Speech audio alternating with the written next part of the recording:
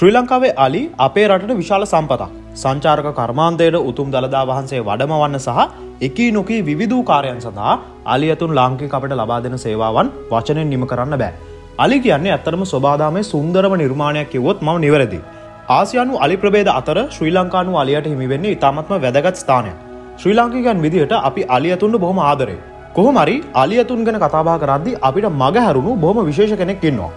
ඒ තමයි ශ්‍රී ලංකාවේ ජීවත් වුණු නමුත් වඳවී ගිය ශ්‍රී ලංකානු විල්ලලිය. අද විඩියකින් අපි කතාබා කරන්න යන්නේ මේ විල්ලලියන් පිළිබඳව බොහම වටිනා තොරතුරු කිහිපයක්. රන්දන්න වීඩියෝගේ අවසානයතෙක් අලියතුන්ට ආදරය කරන ඔවුන් ගැන තොරතුරු හොයන ඔබ වෙනුවෙන්ම තමයි මේ විශේෂ වීඩියෝක සැකසෙන්නේ.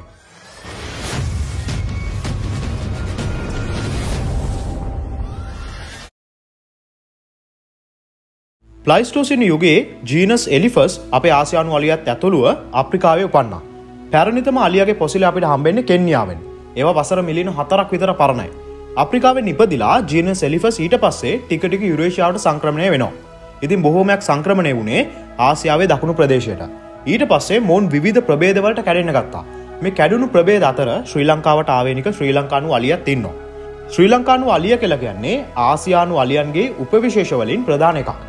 ඔවුන් ශ්‍රී ලංකාව තුළ ඉතාමත්ම සීග්‍ර වශයෙන් බෝුණා. කොහොම නමුත් යටත් විජිත කරනයේදී බොහෝ ඇතුන් සුදුජාතිකන් විසින් මරාදාලා තියෙනවා. ඇතැන් දඩයක්කරුවන් හිටියා ඇතුන් දස් ගානක් විතර මරපු.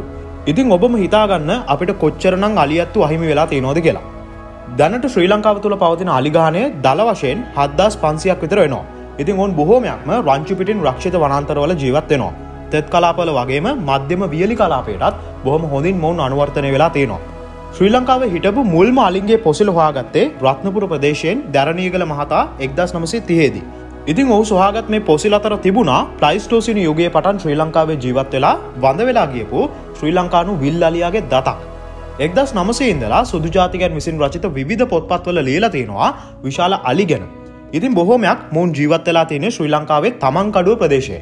ඉති මොන් බොහෝමයක්ම ගැවසිලා තින්නේ මහවැලි ගගෙන් පෝෂණය වන ඉවරු ආශ්‍රිත තෙත් පරිසරයක. අදටත් මේ ප්‍රදේශය අලියතුන් ජීවත්වන වනෝද්‍යාන කිහිපයක්ම තියෙනවා. එක්ද සටසී පනස් හතරදී සැමුවල් බේකස් නම් දක්ෂ දඩයක්කරුව කියනවා ඔහුසේ ජීවිත කාලය දැකපු විශාලතම අලිය දැක්කේ මෙන්න මේ ප්‍රදේශය කියලා.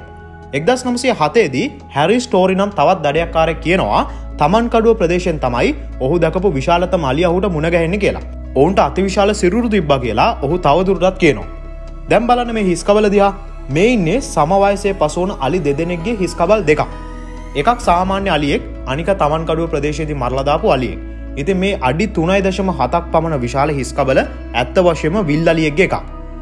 එලිෆන් හන්ටිංගන් ෂූටිංින් ශ්‍රී ලංකා නම් කෘතියේ ඒල් වාක කියනවා මේ ප්‍රදේශ ජීවත්තන අලියන් ශ්‍රී ලංකාවේ අනිකුත් ප්‍රදේශවල ජීවත්තන අලියන්ට වඩා විශාලයි කියලා.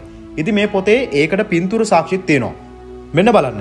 මේ හිස්කබල්වල විශාලත්වය සාමාන්‍ය අලියන්ගේ හිස්කබල්වලට වඩා සාපේක්ෂෝ විශාලයි. එක්දස් නමසේ තිස් එකේදී පුරාවිද්‍යාඥ PEP දැරණිය කළ මහතා මේ ප්‍රදේශය කළ තවත් ගවේශණයකදී හොයාගත්තා තරමක් විශාල පාසටාන් කීපයක්. දැරණීගල මහතා මේ අඩිසලකුණු බලලා මේ සතුන්ගේ විශාලත්වය උපකල්පනය කර. ඔහුට තේරුණා මේ අලි සාමාන්‍ය අලින්ට වඩා විශාල විත්තිය.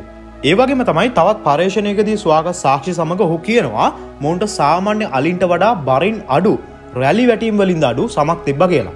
දරණීගල මහතා මේ අලියන්ව තවත් ශ්‍රී ලංකානු අලියන්ගේ උපවිශේෂයක් ලෙස නම් කලා. ඉති මොන්ගේ විශාලත්වයට අමතරව තවත් විශේෂම දෙයක් තමයි මොන්ට තිබුණු විශාල සහ පලල් කකුල්. ඉති මේ බොහෝදුරට ඔන්ගේ සිරුවර බරදරා සිටීමටත් ජලාශ්‍රත පරිසරේ ජීවත් වෙන්නත් උපකාරි වෙන්න ඇති. ඒවගේම පලල් අඩිය මොන්ට මඩවල එරීමෙනුත් වලක්වන්න ඇති. හැරි ස්ටෝරි කියන විදිහට ඔහු වෙඩ දබා මරා දැමූ විල්ලලියගේ පාදය අඩිය දිග අඟල් පනස් නමයක්. ඊල් වාක කියන විදිහට ඔහු මරපු සත්වයාගේ පාදය දිග අඟල් හැට හතරක්. DG හෙනසි වැනි අනි දඩයක්කරුවන් මරාදමූ විල්ලලියන්ගේ පාදවල දිග අඟල් පනස් තුනා. ඉදි මොවුන් සියල්ලම මේ ප්‍රදේශය මරාදැමූ අලි. ඉදි මොන්ගේ උස දල වශයෙන් මිටර් නමයක් පමණ වුණා.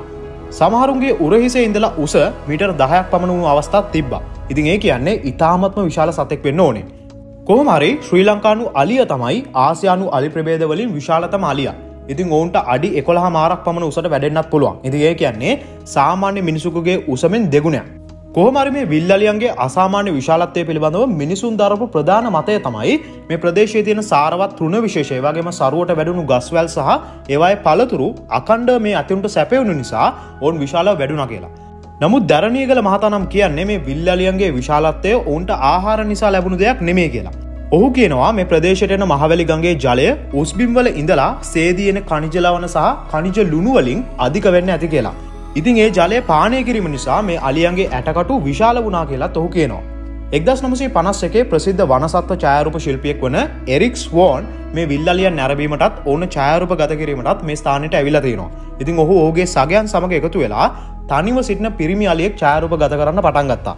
එක පාරම මේ අලියා පිටු පස්සට හැරිලා මොවන්ට පහර දෙන්න ඇවිලා තියෙනවා. එරික් බොහම ඉක්මට ක්‍රියාත්මක වෙලා තුවක්ුවෙන් හට වෙඩි තියල තියෙනවා.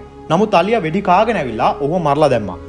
ඔහු මරාදැමේ විල්ලියෙක් කියල තමයි කියන්නේ. ඉතින් ඔහු මරාදමන් ඉස්සෙල්ලා ඕන් විසින් ගත්ත මේ අලියගේ ඡායරූප තමයි මේ. මෙන්න මේ ඡායරූපය ලංකාවේ අතීතය විසූ විල්ලලියාගේ දැනට ඉතිරිව පවතින ප්‍රබල සාක්ෂියද. ඇතම් සාමාන්‍ය අලියන්ගේ හිස්කවල්ල මේ ප්‍රදේශයෙන් හමුයම නිසා බොහ විද්වතුන් හිතනවා මේ විල්ලලියා සාමාන්‍ය අලියන් සමගද එකතු වෙන්න ඇති කියලා. ඉතින් ඒ අනුව මේ ප්‍රදේශයේ අද ජීවත්වන අලි විල්ලලියන්ගේ සහ සාමාන්‍ය අලින්ගේ දෙමුහුන් සත්තුද. ඇත්තරම මේ විල්ලලිය කියලා කියන්නේ වෙනත්ම ප්‍රබේදයක්ද එහෙමත් නත්තම් කුමක් හෝ හේතුවකට විශාල වුණු සාමාන්‍ය අලිමද. ඒ ප්‍රශ්නයට පිළිතුරු අපිට කිසිදාක හොයාගන්න බැරිවේ. මේ සමගම අප අපේ වීඩියෝක අවසානයට නවා අද වීඩියෝකින් අපි කතාබා කරපු විල්ලාලිය ගැන ඔබට හිතෙන්නේ මොකක්ද. ඒවගේම වීඩියෝකේ සඳහන් නොවුණු නමුත් ඔබ මොවුන් ගැන දන්නා තවත් තොරතුරු තියෙනවාද. ඒ සියල්ලම පහලින් කමෙන්ට් කරන්නත් අමතක කරන්න එපා. වීඩියක හොඳයි නම් වීඩියක ලයි කරන්න. ඒවගේම මතකතු සබස්ක්‍රයිබ් කරලා බෙල්ල එකත් ගහවොත් මගේ වීඩියෝ බලන්න මුල්ම පිරිස අතරට වාලට එකතු වෙන්නත් පුළුවන්. ඉතින්ගේ මතක් කිරීමත් එක්ක නැවත ඔබ හමුවන බලාපොරොත්තුවෙන් අදර මම වෙන් සමුගන්නවා. ඔබ සැමට සුබම සුබ දවසක්.